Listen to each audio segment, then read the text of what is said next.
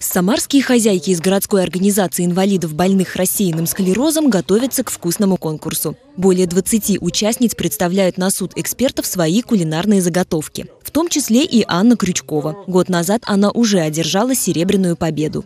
Представляла блюдо баклажаны как грибы. А, вкус неотличим был, а в этом году я решила приготовить сами грибы соленые грибочки с маслицем, с лучком и соленое сало.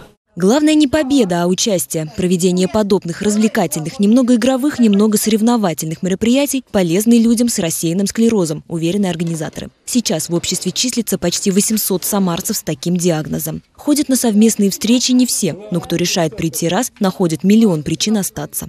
Это очень большая роль. Роль медикаментозной реабилитации большая, но роль социальной огромная. Мы сюда приходим, общаемся, а, занимаемся йогой, скандинавской ходьбой, лечебной физкультурой, механотерапией. Мы консультируемся у психолога. А пока продолжается конкурс-дегустация. Каждый участник, он же судья, попробовав все блюда, может отдать свой голос только за одно. Я такая я я голосую за сладость пирог. Победителям, призерам и всем конкурсантам гарантированы подарки. Мероприятие проводится при поддержке Департамента опеки, попечительства и социальной поддержки администрации Самары. Гульфия Сафина, Григорий Плешаков. События.